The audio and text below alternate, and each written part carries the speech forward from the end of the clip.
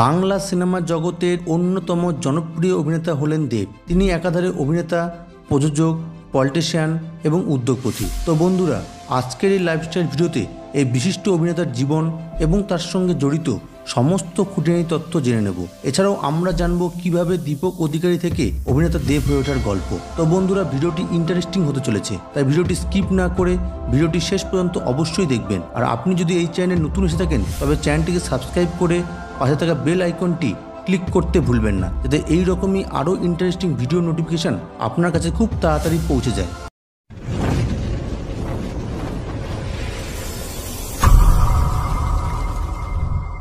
ব্যক্তিগত জীবন, দেবের আসল নাম দীপক অধিকারী।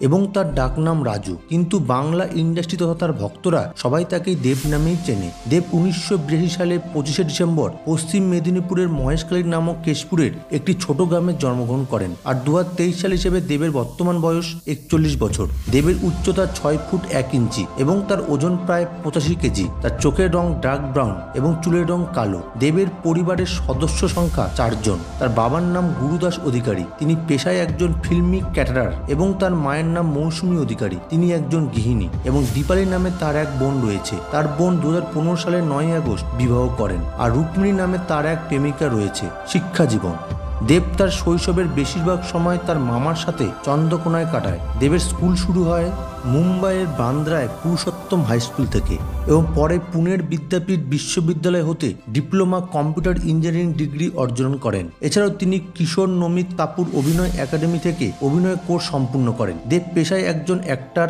প্রডিউসার স্ক্রিন রাইটার সিঙ্গার এবং politician Dev Times of Indian একটি সাক্ষাৎকারে বলেন, তার বাবার কর্মক্ষেত্র হলো শুটিং স্থল দেব জানান, একবার যখন তার স্কুলের গ্রীষ্মকালীন ছুটি চলছিল, তখন সে তার বাবার সাথে নানা পাটাকার অভিনীত চলচ্চিত্র দ্য ফাইনাল অ্যাটাকে এর আউটডোর শুটিং দেখতে যান। তার কাছে সেটা বাবার কর্মস্থলের পরিবর্তে পারিবারিক ভ্রমণ বলেই মনে হয়েছে বলে জানান দেব। তার বাবার শুটিং স্পটে ক্যাডারের কাজ করত।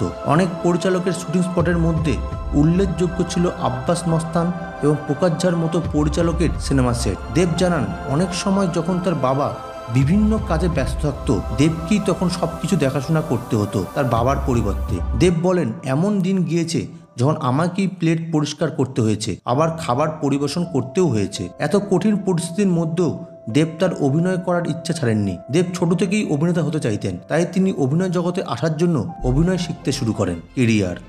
দেব ইঞ্জিনিয়ারিং কমপ্লিট করার পর তিনি অ্যাক্টিং স্কুল থেকে অ্যাক্টিংয়ের ডিপ্লোমা করেন। তো দেবের অ্যাক্টিংয়ের ডিপ্লোমা কমপ্লিট করার পর দু হাজার চার সালে টারজান দ্য ওয়ান্ডার কার সিনেমাটির একজন অবজারভার হিসেবে তিনি সিনেমায় প্রথম পা রাখার চেষ্টা করেন। এরপর দু হাজার পাঁচ সালে দেব অগ্নিশপথ চলচ্চিত্রের মধ্য দিয়ে বাংলা চলচ্চিত্র জগতে আত্মপ্রকাশ করেন। এই চলচ্চিত্রে তিনি মুখ্য চরিত্রে অভিনয় করেন এবং তার বিপরীতে সহ অভিনেত্রী ছিলেন রচনা ব্যানার্জি। যদিও চলচ্চিত্রটি সাফল্য অর্জন করতে ব্যর্থ হয়েছিল এবং তারপরে দেব আবার একটি সিনেমার অফার পান। বলাই বাহুল্য দু সাল ছিল তার জন্য লাকি বছর। কারণ সেই সালেই দেবের হিট ছবি শ্রী ভেঙ্কটেশ ফিল্ম প্রযোজিত রবি কিনাকি পরিচালিত আই লাভ ইউ। এই ছবিতে দেবের বিপরীতে কাজ করেন পায়েল সরকার। এই সিনেমাটি বক্স অফিসে ব্যাপক সাফল্য অর্জন করেন এবং সিনেমাটি হিট হয়। এই সিনেমাটির মাধ্যমে দেবকে ধীরে ধীরে দর্শক চিনতে শুরু করে। আই লাভ ইউ সিনেমাটি ভালোভাবে আর্থিক সাফল্য পাওয়া সত্ত্বেও অভিনেতা দেব এক বছর কোনো ছবির অফার গ্রহণ করেননি। শোনা যায়, এই এক বছর তিনি মুম্বাইয়ে গিয়ে বিখ্যাত কোরিওগ্রাফার এজাজ গুলাবের কাছ থেকে ফাইটিং এবং নাচ শিখে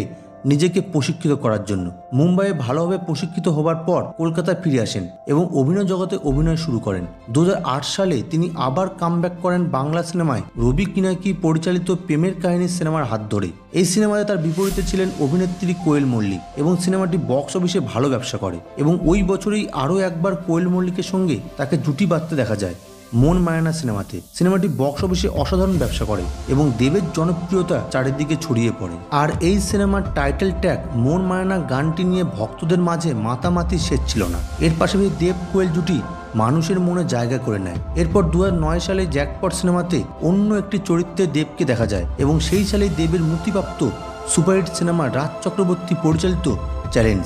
এই সিনেমায় প্রথমবার তাকে দেখতে পাওয়া যায় প্রাক্তন প্রেমিক শুভশ্রী গাঙ্গুলির সঙ্গে জুটি বাঁধতে এবং সিনেমাটি ব্যাপক জনপ্রিয়তা পায়। আর বক্স অফিসে সিনেমাটি অসাধারণ ব্যবসা করে। এই সিনেমাটির জন্য তিনি রাতারাতি সুপারস্টার হয়ে যায়। তারপর দেবকে আর পিছনে ফিরে তাকাতে হয়নি। তিনি একটার পর একটা হিট সিনেমা আমাদের উপহার দিয়ে গিয়েছেন প্রতিনিয়ত। তার উল্লেখযোগ্য কিছু সিনেমা হলো আই লাভ ইউ, মন মানে না, চ্যালেঞ্জ পরাণ যায় জলিয়ারে, লে ছক্কা, দুই পৃথিবী, পাগলু, রংবাজ, খোকা চারশো বিশ চাঁদের পাহাড়। এর মধ্যে চাঁদের পাহাড় সিনেমাটি বেশি আয় করেছিল।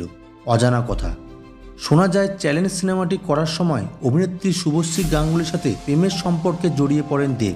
দেব এবং অভিনেত্রী শুভশ্রী গাঙ্গুলি তারা একসাথে মিলে দর্শকদের একের পর এক সুপারহিট সিনেমা উপহার দিয়ে গেছেন। যেমন পরাণ যায় জলিয়ারে, চ্যালেঞ্জ কাবাবু কুকা চারশো বিশ এবং রোমিও। তারা একে অপরকে ভালোবেসে ফেলে। তাদের মধ্যে দীর্ঘ পাঁচ বছর প্রেম ছিল এবং তাদেরকে টলিউডের সবচেয়ে বেস্ট জুটি বললে গণ্য করা হতো। দীর্ঘ পাঁচ বছর সম্পর্ক থাকার পর হঠাৎ তাদের মধ্যে ব্রেকআপ হয়ে যায় এবং তারপর অভিনেত্রী শুভশ্রী গাঙ্গুলি দু হাজার উনিশ সালে পরিচালক রাজ চক্রবর্তীকে বিয়ে করেন। আর বর্তমানে তাদের একটি সন্তান আছে। অন্যদিকে দেব দু হাজার ষোলো সালে চ্যাম্প সিনেমাটি করার সময় তার কো অ্যাক্টেক্স রুক্মিণীর সাথে আবার প্রেমের সম্পর্কে জড়িয়ে পড়েন। আর বর্তমানে তার প্রেমিকা রুক্মিণী মৈত্র।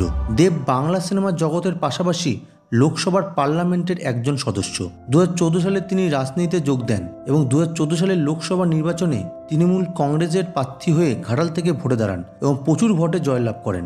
এর পাশাপাশি দেবের নিজস্ব প্রোডাকশন হাউস আছে, Dev entertainment venture private limited নামে। তার প্রয়োজনের উল্লেখযোগ্য সিনেমাগুলি হল দু সালে চ্যাম্প, ককপিট দু হাজার আঠারো সালে কবির দু হাজার উনিশ সালে পাসওয়ার্ড দু একুশ সালে টনিক দু হাজার বাইশ সালে কিসমিস, প্রজাপতি এবং দু হাজার তেইশ সালে পুজোয় আসার সময় দেবের একটি সিনেমা আসছে।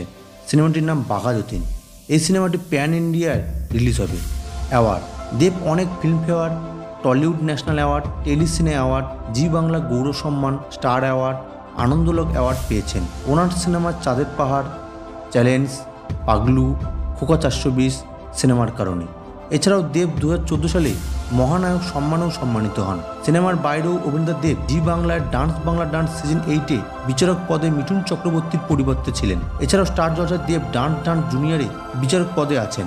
বন্ধুরা যদি বলা যায় দেবের নেটওয়ার্ক বিষয়ে তবে বন্ধুরা বর্তমানে দেব একটি সিনেমা করতে এক কোটি টাকা নিয়ে থাকেন। আর যদি বলা যায় দেবের টোটাল নেটওয়ার্ক বিষয়ে, তবে ওনার টোটাল নেটওয়ার্ক একশো দশ কোটি টাকা। তিনি টলিউডের বেশি পারিশ্রমিক নেওয়া অভিনেতাদের মধ্যে একজন।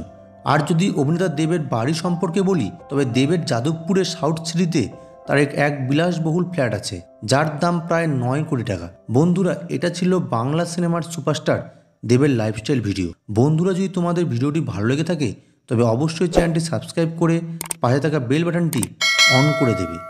ধন্যবাদ।